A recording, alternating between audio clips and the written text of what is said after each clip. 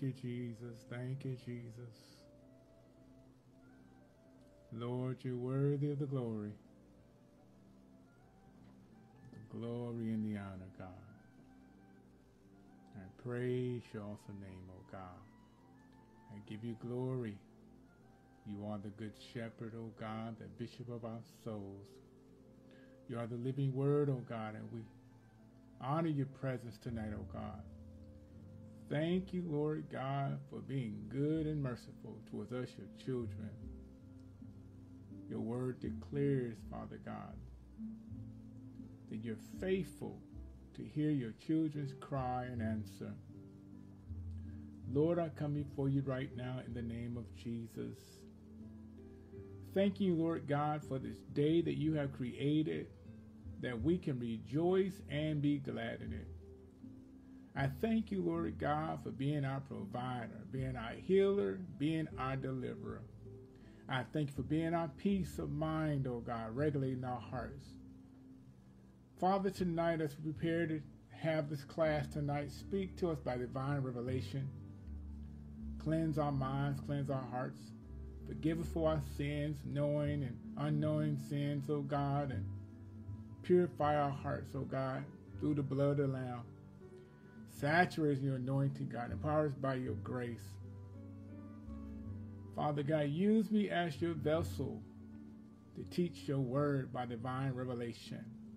To have ears to hear your voice speaking, to receive the revelation from the Holy Spirit, to pour into the hearts of the listeners, oh God, tonight, that would transform our hearts, transform our lives, change our minds, to be more committed to you, Father God, and serving you for the rest of the days of our lives. And I thank you in Jesus' name. Amen, amen, amen.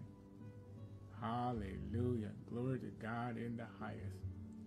Blessed is he who comes in the name of the Lord. Truly, God is amazing. He's sovereign. He's holy. He's righteous. He's just. He's majestic.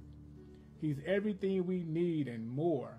And we have the power and ability to call on the name of the Lord until we get an answer. And God will answer according to his will because he's faithful. So, so call upon the name of the Lord. And he will answer and show you great and mighty things that you have not known. We're living in perilous times where people are perishing all around us every day. Uh, tragedies are taking place worldwide.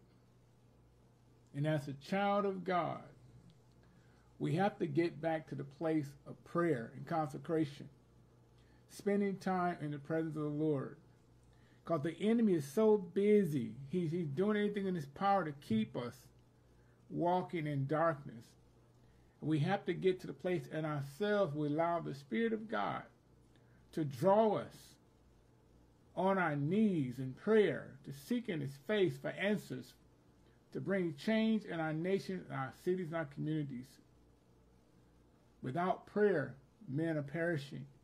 Jesus says men must always pray and not faint. It's a requirement as a believer that we are to pray. So when you enter to your secret closet and you pray in secret, your heavenly Father who sees in secret will reward thee openly. That's a promise we have from God. Amen.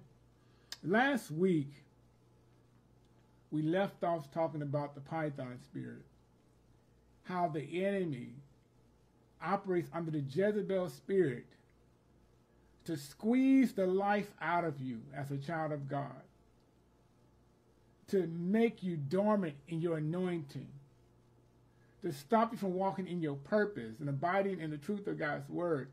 The enemy brings illusions and delusions in our lives to get us discombobulated and confused. If he can get you to the place where you stop trusting God's word and doubting God's ability to keep you and sustain you, you'll follow after the pattern of wickedness in your heart and live a damnable life that leads you down a pathway of destruction. We have to get back to the place we seek God's face for who He is. Without prayer, we can't make it. That's why we have a high priest who will ever live in the body to make intercession for us. And all we got to do is trust in God's word, believe in Jesus Christ all our heart, that He's right there in the midst to bring you through every trial, every test, every situation that you encounter in your life. Amen. Glory to God, glory to God, glory to God. Amen. I want to read a devotion, then we go into prayer. Read a couple devotions actually. Then we're gonna go into prayer tonight. I mean, going to uh, the I mean the lesson. We just had prayer. We'll get into our lesson. It says, "Worship me only." Whatever occupies your mind the most becomes your God. You hear that? Whatever takes residency that sits as the king of your life becomes your God. Worries, if indulged, develop into idols. Did you know that your worry can become an idol? Because it takes the place of God in your life. Because you focus all your attention and your efforts on worrying about things that's not in your power to change trying to fix situations you can't fix, trying to change people you can't change. It becomes your idol. Anxiety gains a life of its own, parasitically infesting your mind. The word says anxiety in the heart of a man will weigh you down, but a broken spirit dries the bones. Anxiety is a form of worrying. And worrying will keep you in a restless night where you can't sleep, tossing and turning, getting headaches, and calling yourself to be self inflicted with illnesses that's not in God's power, that's not for you, because you allow it to be a parasite in your mindset. Then he goes and said, Break free from this bondage by affirming your trust in me. Break free tonight. You got to want to be free. God is not going to force you to be free.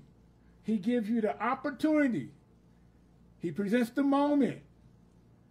He gives you the chance to make the decision to break free from this type of bondage by trusting Him and refreshing yourself in my presence. That is so amazing. You can find a refreshing by resting in the promises of God's word.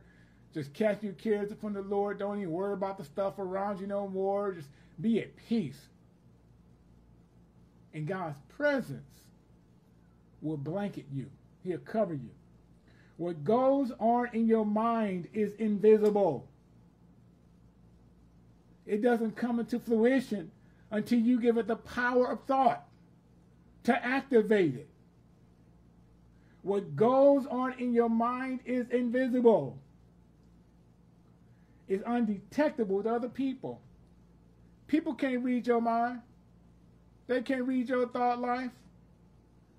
They can suggest things that you're thinking about, but they don't know you like you know yourself.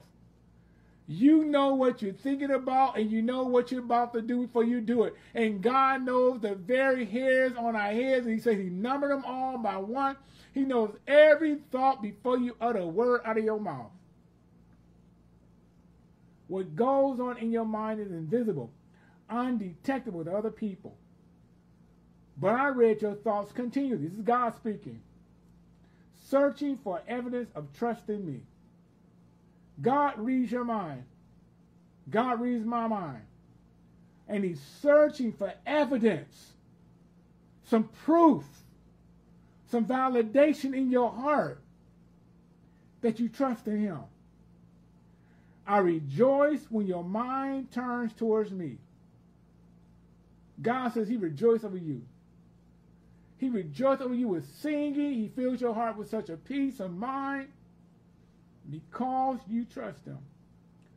Guard your thoughts diligently. Guard your thoughts diligently. Keep doing it. Don't quit. Be faithful. Make a determination. You're going to guard your mind. Good thoughts, choices would keep you close to me. Isn't that wonderful? God says good thoughts will keep you close to him. From the book More of You God, and I just read this one from um, Jesus Calling. Jesus Calling. I just read it from here. Jesus Calling. Amen. So the next book is More of You God. And it says, I want to see the manifestation of your of the will of God in my life. Glory to God in the highest. Hallelujah. I want to see the manifestation of the glory of God in my life. Lord, today I do not want to be stuck in that place called the natural. Isn't that something? You can be stuck in a place called the natural. But God says today, I don't want you to be stuck. Give me one second. I forgot to turn on this uh, Google Meet. Give me one second. See if anybody gonna come on tonight. Glory to God. Praise his name. Amen, amen, amen, amen. All right. Glory to God. All right. Says, Lord, today I do not want to be stuck in the place called the natural. You know what that is talking about? The soulish realm, the fleshly realm. You need to abide in the spiritual realm every day of your life. Stand on the word of truth. Be conformed to the image of Jesus Christ. Allow the Spirit of God to change your mindset, your heart, and your attitude by submitting to his lordship, his authority. Father God, I magnify your holy name. Lord, I want to be more like you, Jesus. As my neighbors and friends encounter me, let Jesus in me light up my surroundings. I love that part right there. Because when Jesus lights up your surroundings, he illuminates your pathway. So when the enemy tries to come against you, coming in stealth mode, secretive, through other people, you'll be guarded by the Holy Spirit. He'll show you what the enemy is trying to do to you to stop you in your track. Because the light will begin to reveal where he's coming from. One thing I, I, I love about the Old Testament is every time the children of Israel were about to go into a battle, Joshua always sought the Lord. Should we go up against this army or should we not go up against this army? Some armies, God told them they don't need to fight. For the Lord going to give them victory. And then some battles they had to fight. I remember King Jehoshaphat in the Second Chronicles chapter 20, when he found out the different invading armies were coming against Judah and Jerusalem, he called a fast on the animals and all the people of the kingdom and sought the Lord. When he sought the Lord, he did not release the people from fasting or animals from fasting until he got an answer from God. And God sent the prophet to speak to him and tell him on tomorrow when you get ready to go to battle, send forth the praisers and the worshipers. Because the Lord himself is going to give you the victory. So we got to know that when light shines, I already have the victory. Lord, I want you to get all the glory. Father, so I will be equipped to do the assignment you have appointed me to accomplish. Let me tap into the supernatural. This is a very vital point right here as a child of God. You have to tap into the supernatural every day of your life. Because you don't tap into the supernatural, how you expect to fight a spiritual battle with fleshly weapons? It don't work. We fight fleshly battles with the spiritual weapons. And God equips you with everything you need to defeat your adversary. And it's all wrapped up, tied up, tangled up in Jesus Christ. You get into Jesus, he gets into you. I will not wait for people to tell me what to do or wait to be accepted by them. I will not wait for people to tell me what to do. You need to know what God called you to do. As a child of God, you need to spend time in God's presence and asking God, God, what is my assignment? What am I called to do for the kingdom of God to bring you glory? God will reveal to you a revelation from his word. And that word will be tied to your assignment, attached to your purpose, and will manifest by the supernatural power of God into your life. Just a whisper in my ear from you, God, is all I need. Can you say that tonight? Is your friends whispering in your ear? Is that good enough? Is your parents whispering in your ear? Is that good enough? Is your pastor whispering in your ear? Is that good enough? Is your association, the people you're surrounded by, speaking into your ear? Is that good enough?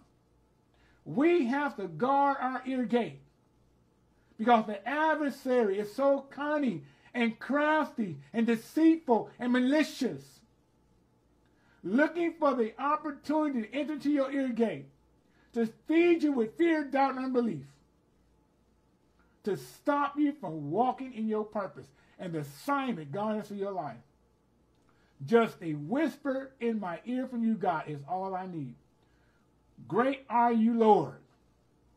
My life changes we acknowledge who God is, He's great, He's mighty, He's holy, He's sovereign, He's majestic, He's just.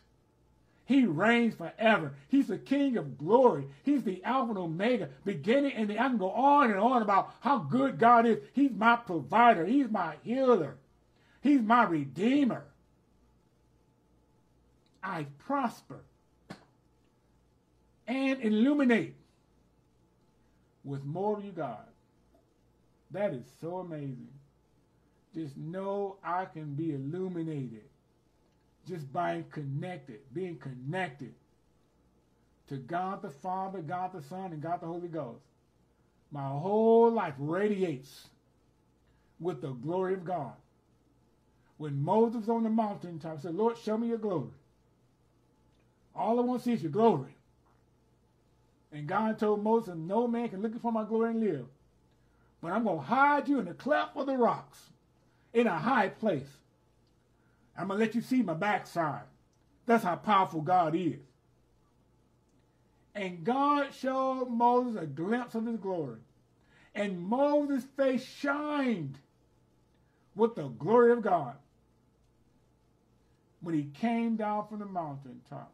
Have you ever been the place and someone said, you, you glowing. There's something different about you. I, I see something different in you. What is it?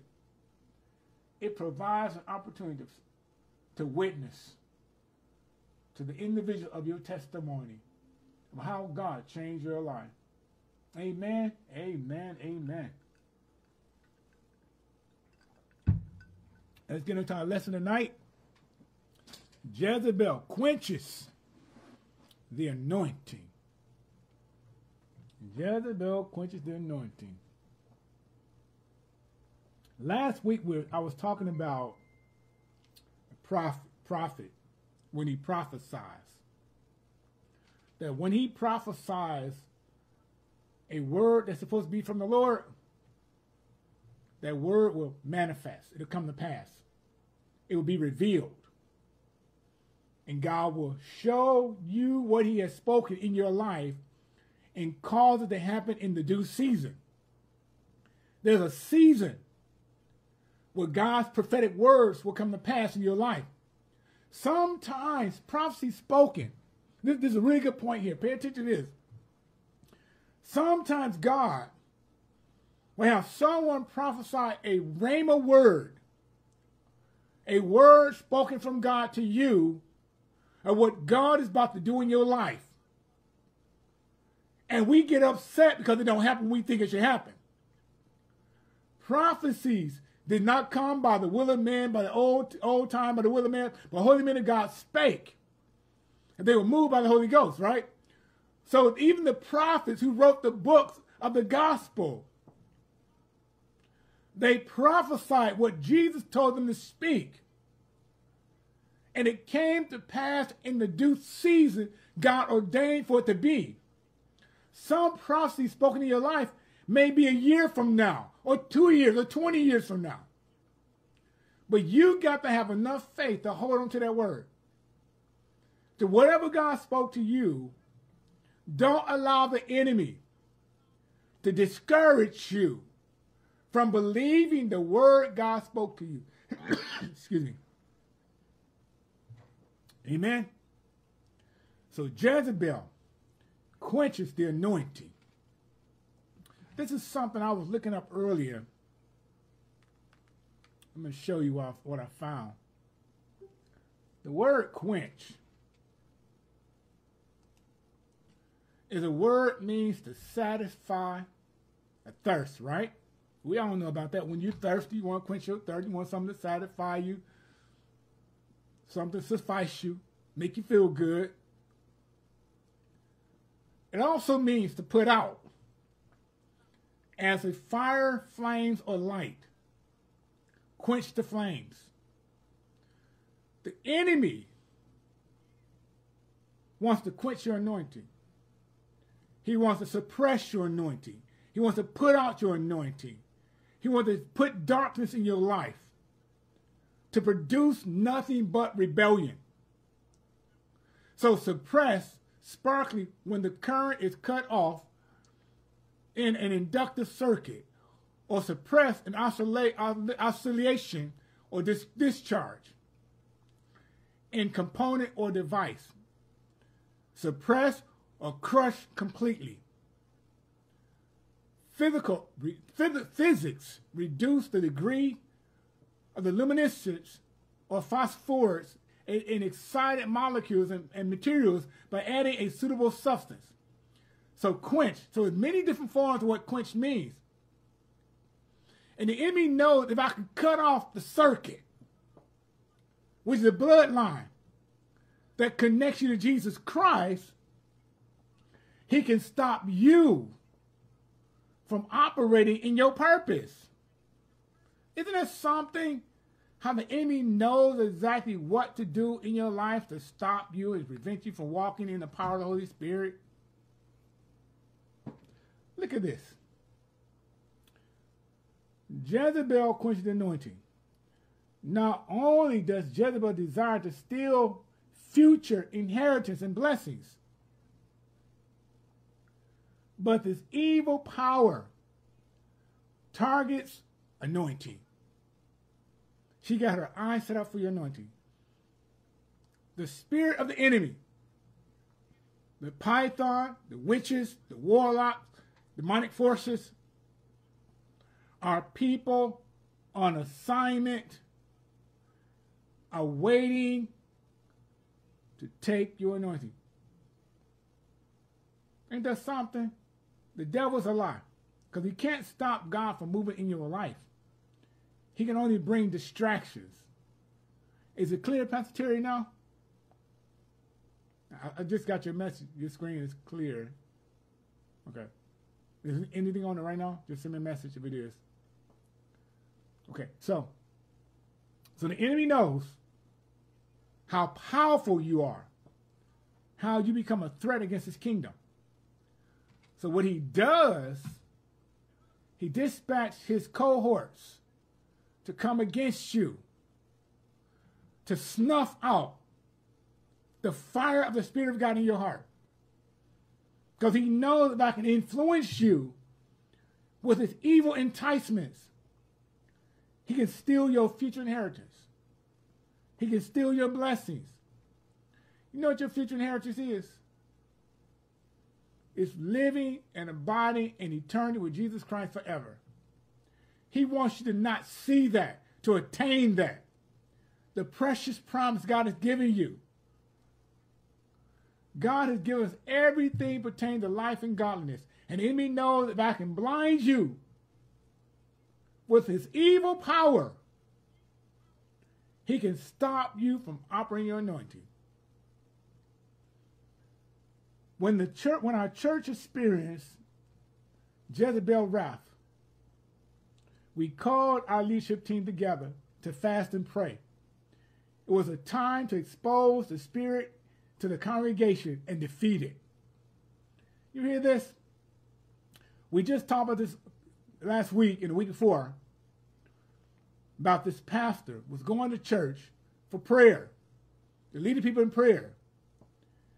And all of a sudden, a spirit came upon him to make him weak, nauseated, to stop him. And he had to pray a prayer of repentance in the congregation to get the people back to God. And there was a young a woman in his congregation who was under influence of witchcraft. And as they began to pray, she yelled out, God is not in this place, it's false prophecies being spoken, and all this rhetoric she was speaking, right? And the pastor recognized there was a spirit and started praying against that spirit. And because of that, then he, he called the woman to the altar to pray for her. She had such resistance. She didn't want to be prayed for because the spirit had so much power and control over her. So as he continued to seek the Lord, the Lord told him what to do. So lady she to join church. and she did eventually join church, even though she resisted and opposed at first, but she joined the church. And so the same spirit we talked about began to go through the congregation trying to find accusations, any reason for people to stop following the shepherd. You got people in today's time in our churches. They come to church with different motives. Some have good intentions, some have bad intentions. Some are peepers. They're looking and plotting and planning against your demise of your church. And God is saying to the congregation, it's time to pray. So he said we have to lead the congregation in prayer to defeat the spirit. On one day I was to preach and expose the manifestation of Jezebel. I woke with a sickening headache and could barely get out of bed. I struggled to get to church and I felt weak and faint. And this is the story I was just talking about. As I began to preach, I became so confused and barely and could barely speak. That's how the enemy does. He wants to confuse your language, confound your thought life, where you can't think or think straight. He wants to stop you from declaring the word of God. Because he knows once the word of God goes to the atmosphere, he got to flee. I heard the Lord say, Jezebel has targeted your anointing. Do not allow her to seduce you into stopping. Rebuke the spirit. And I will empower you I knew that Jezebel had no power unless she was able to seduce us. If she can seduce us into believing her lies, then she can gain the victory. You know, that's something we have to pay attention to. Because the enemy knows exactly what to do in your life to seduce you, to distract you, to stop you, to defeat you. And we have to really, really be careful how we allow the enemy to influence us. Because the enemy is really cunning and crafty and doing everything in his power to stop you in your tracks. But you got to be prayed up as a child of God, be on guard. Because the enemy is not playing fair. He's coming in with assault missiles to assassinate you in your purpose. So you got to be on, on guard. Glory to God, glory to God, glory to God. My, my, my. This is a good lesson. I pray this help you tonight. Amen. The Lord reminded me that other manifestations of Jezebel witchcraft were dizziness and confusion. So I asked the congregation to pray with me and rebuke the manifestation of Jezebel. You hear this? He recognized the spirit. He didn't try to conquer it on his own strength, but he asked the congregation to join in prayer with him to defeat this spirit. We have to get to a place in ourselves where we try to realize that I can't fix this battle and fight on my own strength. I need to have other people to pray with me, come together with me, because one put thousand fight, two can send 10,000 to flee, because the word of God tells is power and strength and togetherness. Our whole lesson has been talking about the three-strand cord, or threefold demonic cord of Jezebel. Because her power cannot operate by herself. She has to have others to join forces with her in order to defeat your life. You got to get to a place in yourself, my, my brothers and sisters, that you realize that the enemy is working against you to stop you in your track. And you got to trust God His word to defeat the enemy in your life and help you overcome. Because so many times we try to fight a battle by ourselves, knowing I'm not strong enough to overcome certain certain sins in your life. You need to confess your fault to one another. You can be healed from those things. So many times we try to conceal our sins in our heart strongholds that we've been battling with for a long time. And we're afraid to tell other people about it because we're afraid they're going to talk about us or spread gossip about me. But you need to pray for God to lead you to certain individuals in your life who you can confide in, who can become your confidant, who going to be right there with you to help pray your way through certain situations to break strongholds off your mind and your heart together. And God will do that. God will do that. He said, I asked the congregation to pray with me and rebuke the manifestation of Jezebel. Suddenly, the dizziness and confusion left. I was able to proceed with my message and expose the Jezebel stronghold. That is so amazing. Oh my God, that's so amazing. That lets you know that one, when we come together in one accord and we stand together against the force of Jezebel, that spirit has to be broken by the blood of the Lamb and by the name of Jesus Christ. It has to flee from your church since Jezebel hates repentance. Look at Revelation chapter 2, verse 21. I'm going to turn there. Revelation 2, 21.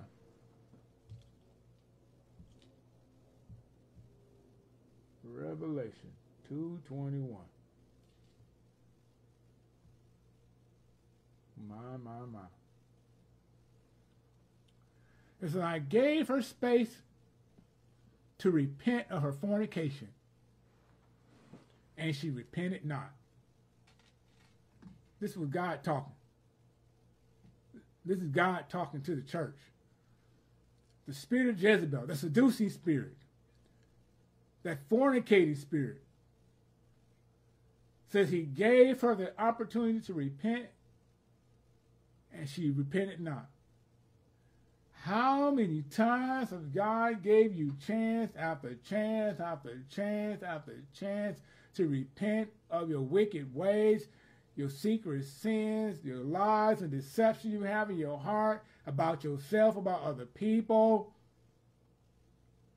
and you refuse to repent. that is a terrible place to be in in your heart because you don't realize the danger you put yourself in with God when you refuse to allow God to purge, to refine, and perfect you through the blood of the Lamb and cleanse from all unrighteousness. We have to get to a place in ourselves. We stop resisting and opposing God. I was determined to defeat her tactics by leading the congregation in prayer repentance. Listen to this. When we began to ask the Lord to forgive us, if we had ever tolerated the, that demonic power, right in the middle of the prayer, a woman in the congregation began to scream and falsely prophesy. The very thing I was just talking about, that Jezebel spirit, when it brings disruption, confusion in the house, began to scream and yell false prophecy. Yea, saith the Lord, I am not in this place. I am not in the dance. I am not in the prophetic ministry. I am not here. My, my, my. Pay attention, people. Then she fell to the floor and did not move, as if to persuade us that she had been slain by the power of God. When I read this, I just had to laugh. I, I, I laugh as because I've seen this very thing happen before in my years of ministry, different ministries I, I served under, I've seen false prophets come into the house of God and begin to speak false prophecies in the atmosphere and, and, and say things God did not tell them to say. And, and then they begin to fall on the floor and shaking like they, like they under a spell. And, and, and, and the pastor would get up and realize not the, not the Lord would go to the individual and begin to cast that spirit out. I even seen evangelists do the same thing. Cast out the Jezebel spirit out of people who were being disruptive in the house of God. I remember this one ministry I, I was uh, part of, and this this pastor came from Chicago, and he started a ministry here in Milwaukee. I forgot the name of it. And there was a young man used to come to church drunk all the time. And sometimes he'd get disruptive. And the pastor, he taught us that sometimes you ain't got to say a word because the Holy Spirit will convict the individual themselves. So the pastor started having Bible class at his house. And young man would come to the Bible class and get disruptive. And the pastor kept teaching, ignoring that spirit, never acknowledged that spirit, and kept doing what God told him to do. And the young man got convicted and got up and left. And the pastor said, sometimes you have to rebuke those spirits, and sometimes it's best to be quiet. Because you got to operate in the Spirit of God to know when you are to encounter a demonic force. Because they'll become very argumentative and defensive. And you got to know exactly how to encounter certain demonic spirits. Every spirit is not going to go out easily. Some spirits goes out with a fight. And you got to pray that God give you discernment on what spirit you encounter. Jesus told his disciples, when the man brought his child to, his disciples to cast out a spirit of his, his child, they couldn't do it. And Jesus said, Bring him to me. And Jesus commanded the spirit to come out of him. So the boy fell on the ground going to convulsions. And, and then he got up. He was in the right mind. He was having seizures. And God healed him. He said, This kind come through prayer and fasting. Unless you pray and fast, some spirits are not going to leave you. They're going to continue to manipulate, to influence, to discourage, to try to defeat you and steal your anointing. My husband Mickey and I looked at each other, both aware of this false voice. It was a Jezebel manifestation. The nerve of that spirit, I thought. I signaled to our usher to help her stand up. I was getting angry now. Listen to this. Here I was teaching against witchcraft and the assignment of Jezebel. And the spirit itself rose up and attempted to gain attention. You hear that? I've been teaching for quite a while now about this book, Breaking the Threefold Demonic Cord. The enemy's mad about that. And the reason why he's mad about that, because he's being exposed. Anytime you expose the enemy in your life, in the areas of your life, your family, your children, your finance, your health, the enemy gets upset. Because he wants to continue to gain control in your life. But we have to recognize that as I seek the Lord, God will give me the wisdom, the knowledge, the understanding how to deal with and defeat certain spirits in my life.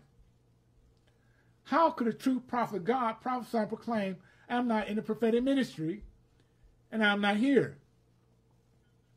If God was not prophesying, then who was? You hear that?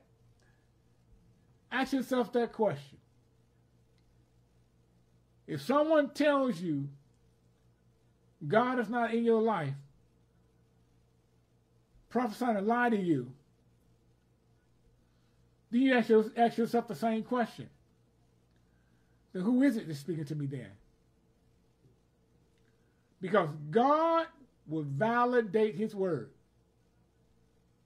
Mickey and I knew that Jezebel is attracted to true prophetic ministry.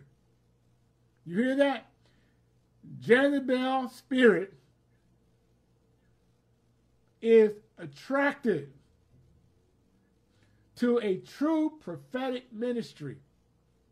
She's attracted to your anointing. When you operate in the prophetic anointing, you walk in your purpose and the calling and assignment on your life, the enemy is attracted to what you're doing because of who Christ is in you. It's not about you, it's about the Christ in you.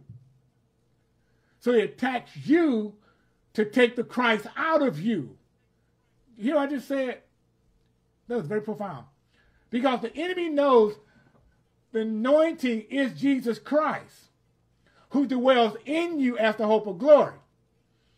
So that hope of glory is my expectation that one day when Christ comes, I'll live with him in eternity forever. So he has to discourage you distract you, to stop you from walking in your purpose. We asked her to commit to our new members class and some counseling. Listen to this. At first she squirmed, got uncomfortable. Now she's uncomfortable because now she's being exposed. Searching for all types of excuses as to why she could not attend the classes. And then came the big question. Why do I need counseling? You hear that? I've known people in broken marriages. And to come to the pastor, many came to me before. And I encouraged them to seek counsel. And they felt within themselves, I don't need counseling. He not gonna listen. She not gonna listen. We we ain't gonna change because the same thing. Every time we try to change, we revert back to the same old situation. He do the same thing and she do the same thing. So they blaming each other. Because the spirit of Jezebel, it passes blame. It never wants to confess the truth about yourself. So when I say you need to seek counsel, red flag goes up in the spirit the reason why they don't want counsel because they're afraid the secrets of their heart are going to be exposed. Isn't that something? God knows what he's doing. He knows how to get our attention. He knows what to do to change our lives.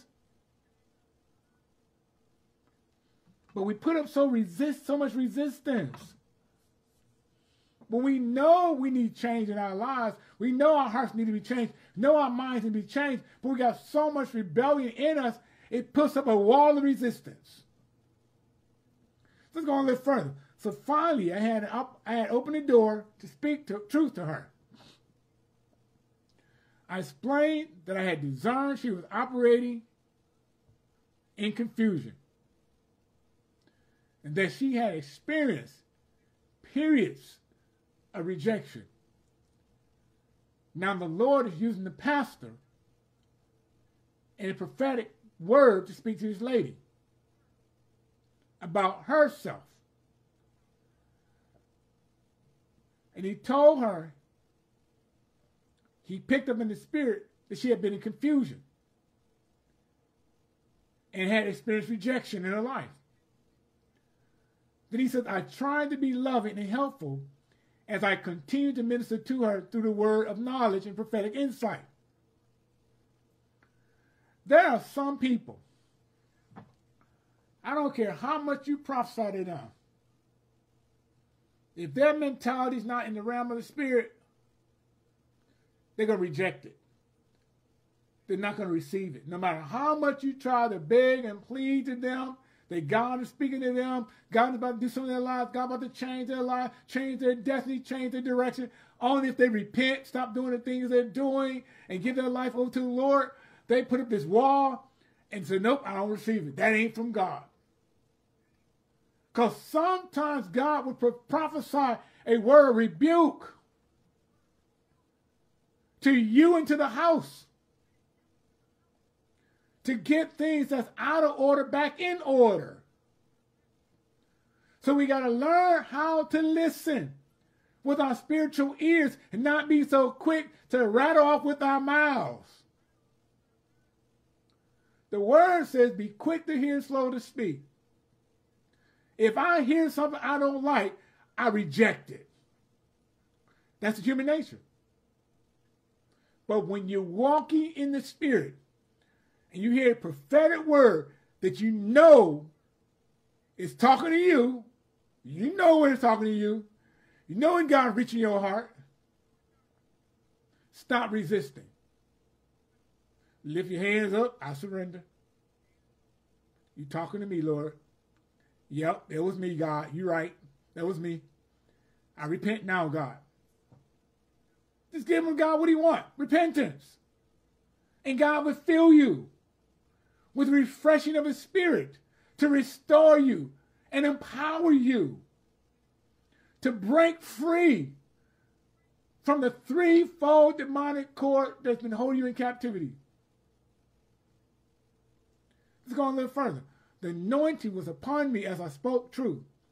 The Holy Spirit ministered to her, and she began to weep uncontrollably. now, watch this. Now, she's been convicted Spirit of God is speaking to her. Now, watch what happened after this.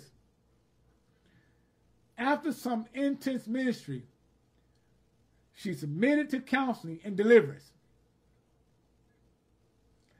I wish I had a good report to share.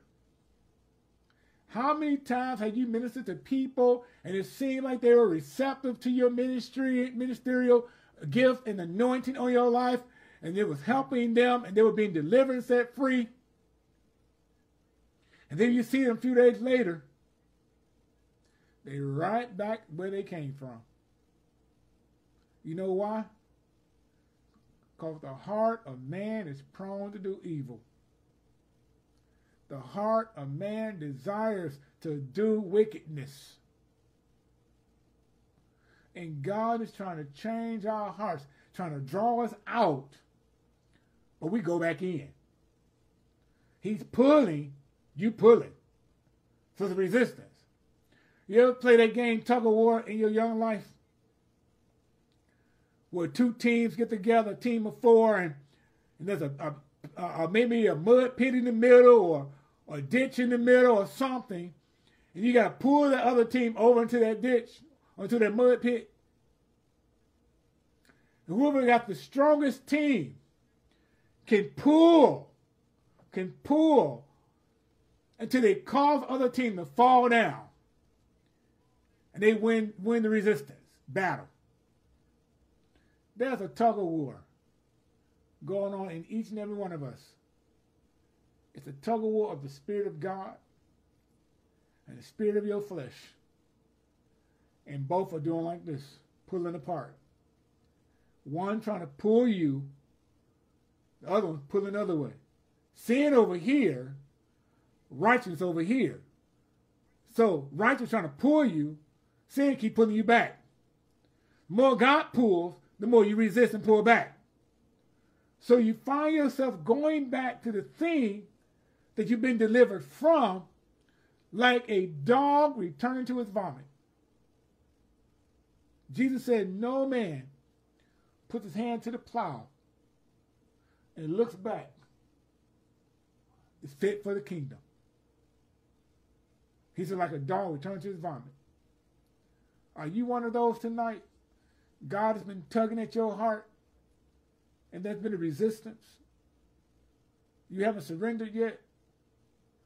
God is calling you tonight to give up and let go. He wants you to come in to his presence. He wants you to surrender to his lordship and authority. He wants to break the back of the enemy off your life and set you free. But he can't do it until you stop resisting. Let's go a little further. So I wish I had a good report to share. During ensuing deliverance sessions, the woman refused to repent and continued to make excuses for her behavior. You know, I know preachers the same way. I was one of those myself at one point. God delivers, you go back. God delivers, you go back. We're human beings, right? We all gonna make a mistake. We all gonna fall. Stop making excuses when you mess up. Repent, because God knows your heart anyway. Stop trying to justify the reason why you keep doing the things you know that God told you not to do. I'm guilty of myself sometimes. Want to justify the wrongdoings. And God says, if you have a repentable heart, he wished that none would perish. He threw out the lifeline for you and for I to draw us into repentance. That we receive his salvation. Salvation is your deliverance, your wholeness, your wellness, your life is attached to Jesus Christ. She accepted no responsibility for her actions and continued to blame others. It's LaShonda's fault why I keep messing up. It's Pastor Denise's fault why I keep talking about folk. So we want to blame people when it's your fault. So I'm not going to admit it's my fault that I yielded in temptation and I failed, but I'm to blame everybody else for the influence. I found out something from serving the Lord. Can't nobody make you sin. They can entice you and bait you like Satan does to lure you into a place of darkness. But you have to make the choice. God told Joshua in chapter 6, somewhere in there, in chapter 6 of Joshua, said, Tell the children of Israel, I set before you life and death. Choose life and live, that you and your descendants may live. You have to make a choice.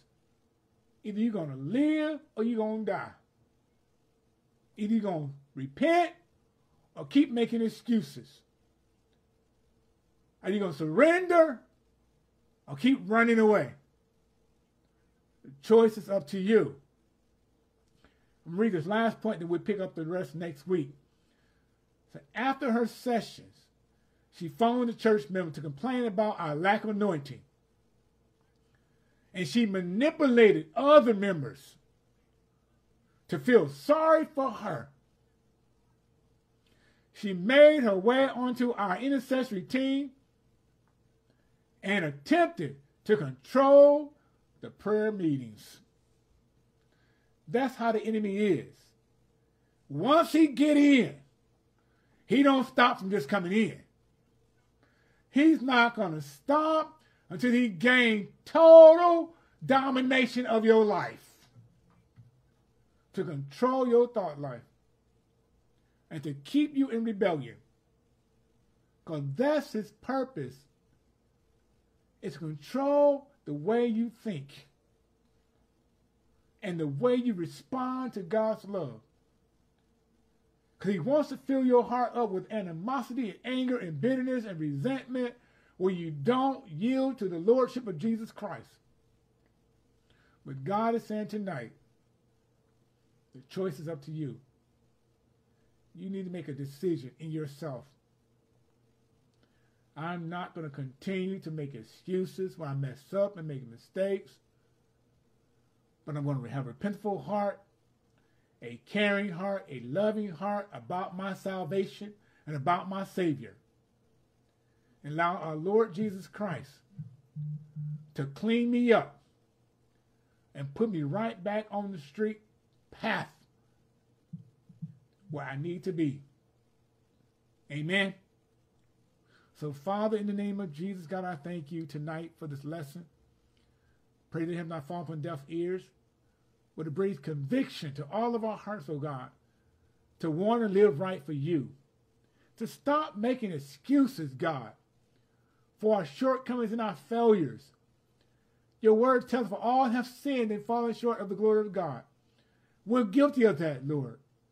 But thank God for grace. Because your grace and your mercy, it covered us in our weakened, fallen state of mind. We were sinners. Yet, God, you came and saved a wretch like us, oh God, and brought us to fellowship with you through your Son, Jesus. And I thank you, Lord God, for giving us another chance. In Jesus' name I pray. Amen. Amen. I want you to repeat after me this, this one simple prayer. Each week we do this. You might be one who don't know Jesus Christ, the Lord and Savior. The word said, For God so loved the world, he gave his only begotten Son, that whosoever shall believe in him shall not perish, but shall have everlasting life. You can have that everlasting life, that, that eternal life, that's knowing Jesus Christ as your Lord and Savior. That thou shalt confess thy mouth that Jesus Christ is Lord, thou shalt be saved. And believe your heart. Believe your heart, you can be saved.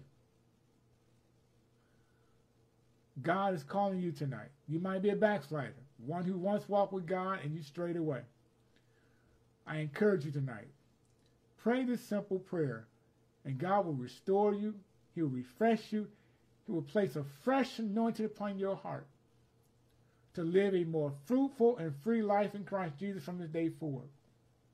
So, Heavenly Father, in the name of Jesus, I ask you, Lord God, to forgive me for my sins, knowing and unknowing, and cleanse me from all unrighteousness. Forgive me for the times I made excuses, for my shortcomings and my failures. And I ask you, oh God, to cleanse my heart, cleanse my mind, cleanse my mouth, oh God, and help me to guard my ear gate. That you, Lord, would become my Lord and Savior. And I thank you for saving me in Jesus' name. Amen. If you prayed that prayer tonight, you just got born again. The Lord says the shepherd left a hundred sheep went to go find that one that was lost, the 99 sheep to go find the one that was lost. And you are that one. You gave your life to Jesus Christ tonight. He came and found you. That he can come and live in your life forever. Amen. Amen. Amen. Amen. I thank everyone for tuning in tonight. God bless you, Pastor Kenny. Bless you, sir. My cousin. Thank the Lord God Almighty. Hallelujah. Amen. Thank all of you for joining in tonight. Pastor Denise, Pastor Terry, and Shonda, many others who might be on here, because I don't see all the names on here all the time, just so you know. So I'm not going to attempt to even try to call all the names that's on here. But I pray that you all have heard something tonight that would inspire, that would edify, that would build you up in your faith, to trust the Lord Jesus Christ. And know that you are a winner in Christ Jesus. You're an overcomer. That God loves you more than you can imagine. And all you got to do is just love him back in return. That's all he's looking for, a heart surrender. If this has been a lesson, been a blessing to you, I want you to sow those Facebook stars tonight. Those stars add up to money for the ministry. Thank you, LaShonda, for your stars you sold tonight. Amen. God bless you. It adds up to, to money for the ministry, and it goes right back into the ministry. Any, any donations that you give for the ministry, it goes into the ministry. So if you want to give a donation to Cash App, the links are on attached to this uh, comment section of the of the live feed tonight. You can sow a donation to the ministry, and that that will go right back into the ministry. Amen. It also helps provide like the books that I've been teaching and things I've been studying to help God's people. But you all stay encouraged. Don't give up the fight. Fight the good fight of faith. And the good fight of faith you shall overcome as a winner. Amen. Amen. Anyone got any questions, any other comments? Thank you for your comments tonight. God bless you. Amen. Amen. To God be praised. Amen. I, I love teaching this word. I love teaching this. It really blesses me because it's helped changing my life as well. We, we all going through a purging. I was just telling somebody this yesterday. We all are going through a purging. And God is trying to perfect us to be better every day, to be a witness for Him in this world. Because everywhere we go, people are perishing all around us. And we are the light of the world. And we are the shine bright for Jesus. Amen. So let your light so shine before men that they may see your good works and glorify our Father which is in heaven. You all have a great night. May the Lord bless you. May the Lord keep you. May the Lord make his face shine upon you. May the Lord lift his countenance upon you. May the Lord give you peace. Until next week at the 6 o'clock hour, we resume again. You all have a great and a prosperous week. know that you are victorious in Christ Jesus, that God loves you and I love you. Have a good night.